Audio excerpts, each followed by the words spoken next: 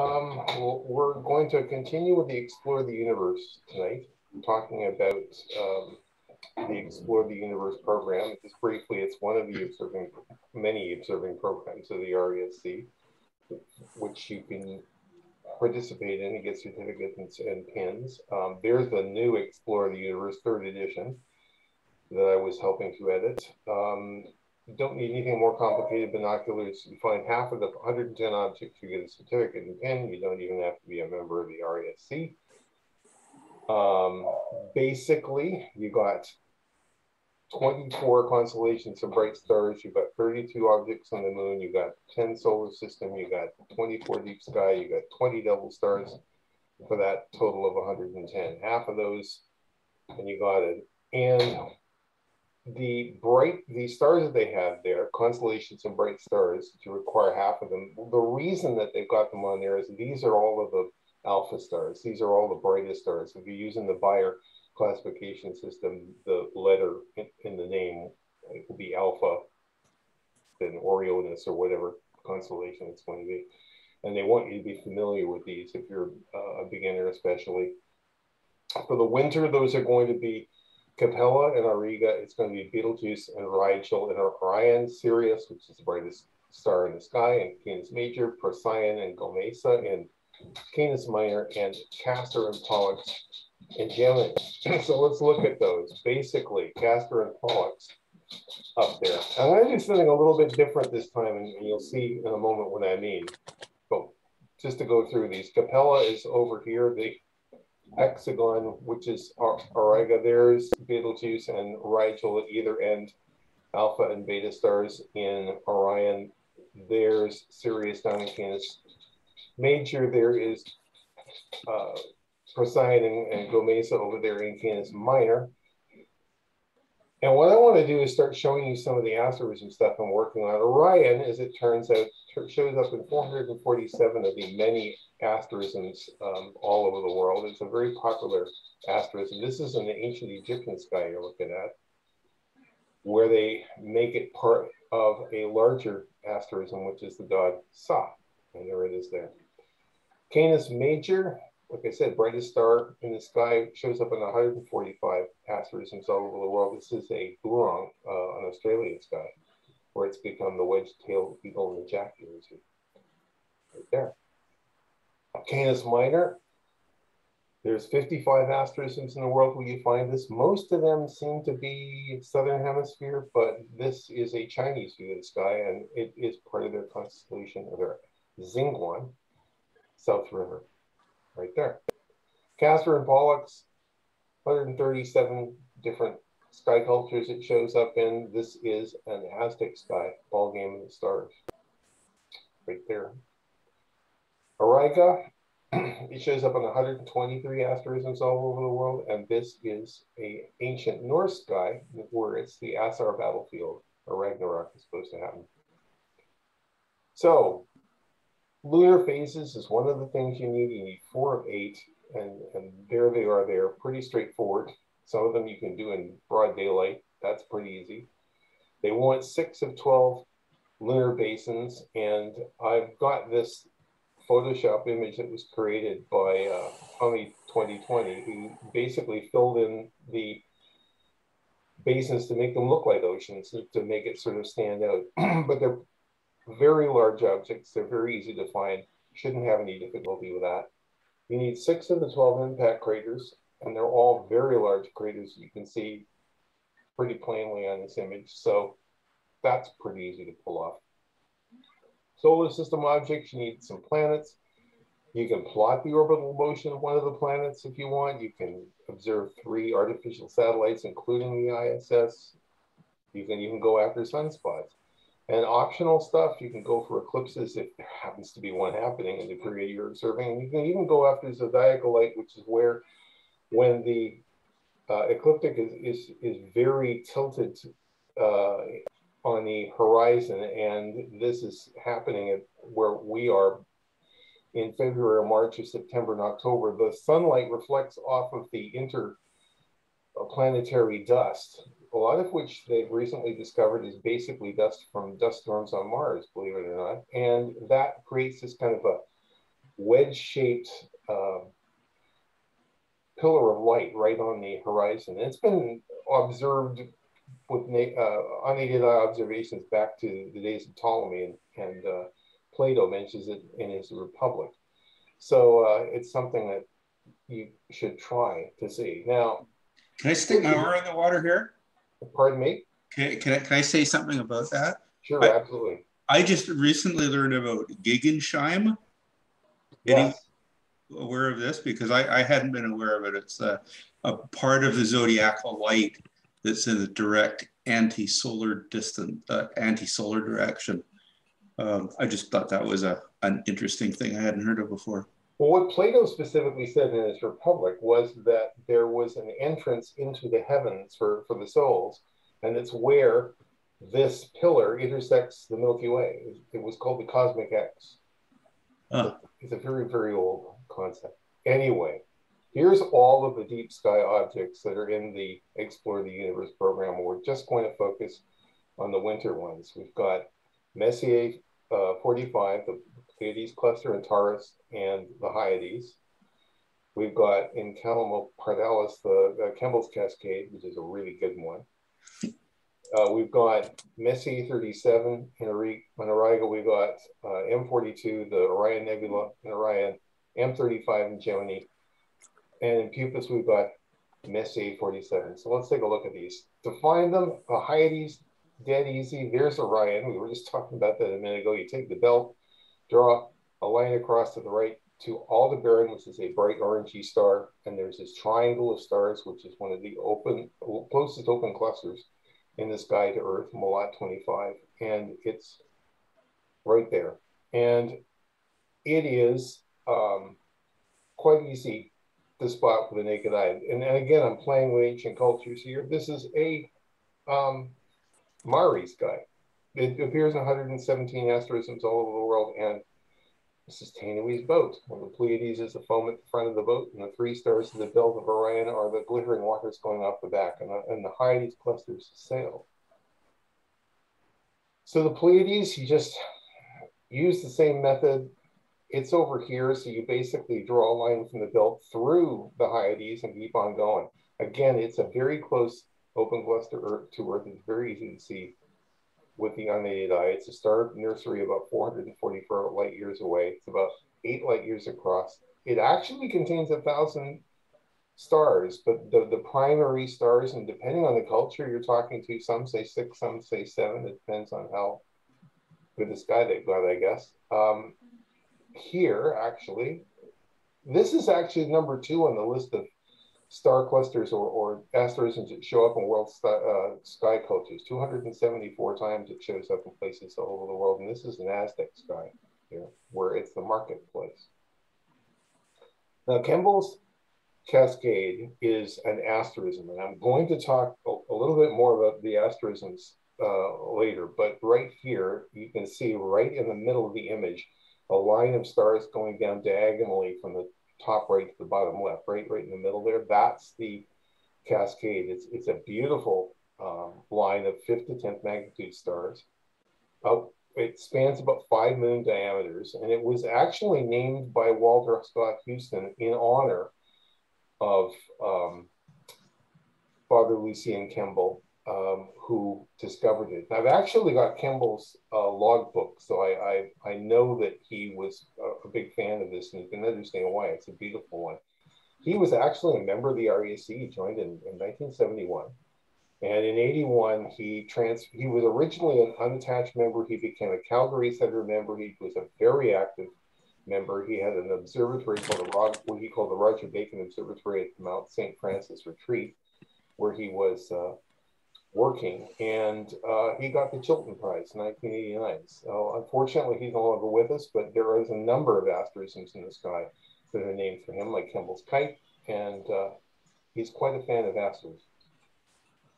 Anyway, if you want to find this, there is the Hyades cluster over on the left. There's the hexagon of Auriga up there. You can see the W of Cassiopeia down there, and the Little Dipper uh, over there. Right in the middle of all that is that triangle, which is Camelopardalis. and that's what we're shooting for. So to zoom in, there's the triangle of Camelopardalis there. You can see the cluster kind of intersecting that line that forms one side of the triangle. Pretty easy to find. Messier 37 is right over here.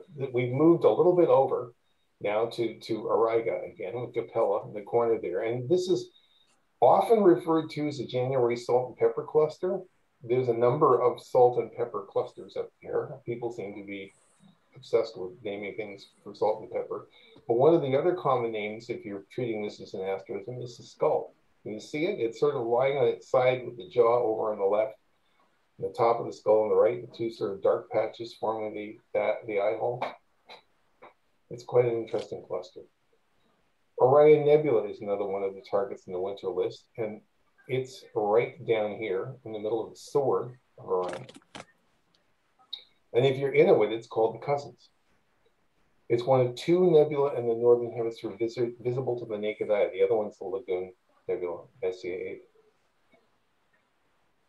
Messier 35 is on the list. We're moving just a little further over, right down here. You see there's Castor and Pollux, the twins, the, the stars at the top. And this is right above the Castor's foot there. And that's not really the reason it's called the shoe buckle cluster. It isn't because it's close to his foot. It's because if you look at it, it's kind of got a square shape with a kind of a tongue sticking out the side. It actually looks something like a shoe buckle if you if you've gotten the Messier 47 over here. We've gone down to King of Canis now in Sirius. If you are, uh, you notice that, the Orion's in the top right there, so we've moved down to the other side here. And this is over in the, in the actually in the constellation Puppis. But there's a whole cluster of Messier and NGC objects there. And this is right in the middle of it. If you, if you draw a line from uh, Mirzam, beta uh, Canis Majoris through Sirius, Alpha Canis Majoris, over, you'll, it points directly over towards NC 46 and 47. And there is an American astronomer, Steve Saber, who is quite a fan of asterisms, and he, he sees a box on a stick. If you look in there, you can see right in the middle, there's kind of a, a diamond shape of, of stars, which is the box, and then there's a bunch of stars coming down the line. That's going to be the stick. So the other thing that you need um, for the explore the universe is double and multiple stars. You need half of the 20 that they've listed on the list. And there's only two in the winter list that you need to chase after. So one of those is Theta Tauri and a one and two, which if you're looking at the Hyades, which we showed you earlier, it's a triangle with Aldebaran in the corner. If you look at that side halfway down on the triangle between Aldebaran and, and Prima Hydae, you'll see these two stars quite clearly right in the middle there. they're pretty easy to find. Looks like that if you got the eyepiece. And the other one is Delta Cephei. And we haven't talked about Cepheus. The um, It kind of looks like a collapsing house there. Just to one side of Cassiopeia. It's way north in the sky. So you'll notice Polaris is up in the top right corner there. It's, it's sort of uh, between Cassiopeia and uh, Ursa Minor. And right down in the lower left corner there, that's where you're going to find Delta Cephei, just off of the, the corner. And it looks like that. now, there are variable stars that you can chase after too, Mira and Algol. I'm not going to get into that a lot, but if you're interested in variable stars, it's an optional. You don't need it for the program, but it's something they are encouraging you to do. So other programs you can do really briefly, just cruise uh, explore the moon. There are 40 binocular features. If you use that version, there's 94 telescope uh, features, and it's quite an easy program to do. If you want to do something more advanced, there's Isabel Williamson lunar observing program. It's got about 140 objects in it. I've done it. It's it's interesting. It's, it's a if you're into geology, we were talking about geology earlier. This is your your observing program because it's all about lunar geology. As a Messier list, it's a really good one, all 110 Messier objects, that one. Finest NGC is another excellent list. It's one that I've done. Deep Sky Challenge um, as a whole selection of objects which are worth uh, chasing after, including some dark uh, nebulae. There's deep sky gems, which is 154 objects. It's a little bit more challenging, a lot more stuff to chase after. And you can even do solar observing, because somebody I know wrote this book on solar observing. And the sun's been very active lately. But Danny, I'm looking at you now, because one of the things that Danny, you got me interested in was asterisms. And one of the things that I've been working on is this World Asterisms List. This is a project of the Inclusivity and Diversity Committee. And what we're trying to do is look at all of the sky cultures of the world and gather all of the asterisms in one place. So we, there is a central place you can find all of them, and then you can find the resources to explore those cultures if you want to. And so you're probably saying, so how many different cultures have we looked at so far? That's been seven months into doing this now, and the answer is 383. So how many asterisms does that look like? 4,350 to be precise, including 266 names in the Milky Way. And that right there is one of the most well-known ones in the Southern Hemisphere. Does anyone here recognize that? I hear crickets. One of the things you notice if you're in the Southern Hemisphere is, is in the Northern Hemisphere, when you look at the Milky Way, you're looking out of the galaxy. When you're in the southern hemisphere and looking at the Milky Way, you're looking into our galaxy and you're looking through a bunch of dust clouds. And what you see here is the emu in the sky, which also appears as a Rhea in the sky in South America. Down in the, the left edge there, you see there's the Rhea's head with a bright star, which is the eye. And then you see the body is going along to the right. So one of the things that is really common in southern hemisphere skies is dark constellations and Inca uh, skies or Quechua skies. It's all dark constellations. It's quite interesting. Now, when I first mentioned to some members of the observing committee that I had um, compiled a list this size, this was their reaction basically. And one of them said, How on earth could you possibly say you've observed all of these? And I said, Well, all of these things that you see here in this lengthy list are all the same seven stars. These ones. Because all of these people from different cultural, social, educational backgrounds are looking at exactly the same seven stars, but seeing something different because they've got different perspectives. So that's kind of what this is all about, is showing you all the wonderful different perspectives that people have of the sky. And it also means that in the process of doing this, I have collected telescopic asterisms from all over the world. Andy, looking at you. So how many have we got? 290 actually. And I've actually given this list to the observing committee and, and they're all busy talking about can we turn this into an observing program? But if you would like this, any of you, I've got it set up as, observe, as a log sheet observing thing, and, and I have a, a, table with all of them, and I'd be happy to share it with you. It has Kemble's Cascade and all of Kemble's others, and stuff from all kinds of other people. A lot of Canadian uh, contributions. Randy Pacan, who has also passed away, but was a member of the Edmonton Center, gave us a whole lot of different asterisms. And uh, David Levy, who is the comet hunter, he's got a few in there. I've got one in there actually that I discovered. And the other day, Roland Dechesne from Calgary Center called me and said, I was at the Mount Kobau party the other day, well, 2006, and went, and I found a flying saucer. And, and can I include it? Yes, let's put it in there. So um, if you have been looking through the eyepiece at any kind of object in the sky and noticed off to one side, gee, that looks like a, and you wrote it down somewhere, but you never told anybody, tell me, because we want it on a list, because we want to gather all of the different perspectives and share them with people all over the world. It it's gone slightly further than I thought originally imagined it would go because what has happened is we've created a Google Drive where collaborators can share information and the collaborators who are sharing information are ethnoastronomers from all over the world. I was on the phone to Dr. Alejandro Lopez this morning uh, in Buenos Aires, and I've been talking to South Africa and, and the unusual conversation where it's morning in, in winter and I'm talking to summer in, in um, the, the next day in Australia.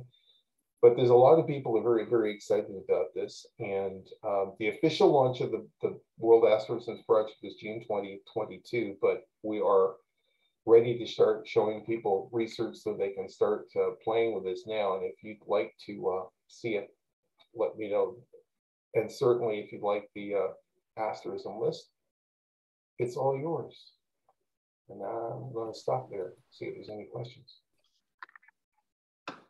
Did you get any pushback about the whole cultural appropriation question? No, basically, some parts of the world have got a lot of ethnoastronomers working on this sort of stuff. Australia being an example. Um, it, the Oceania is, is an area where you see a lot of activity. In some areas like Africa, there isn't very much. It's, it's a bunch of keen astronomer enthusiasts that are providing of the information, but it's it's kind of limited. And what you discover with cultures all over the world is some, like um, Navajo, Diné, have taken charge of their their uh, skies and they are putting out publications and they have websites on it and they have spokespeople and and it's there's a lot of information. Others nobody is in charge of it. You can't point to anyone in that community and say, this is the person that's the go-to if you want to know about stars. And what happens is you have people going around and gathering little bits and pieces from talking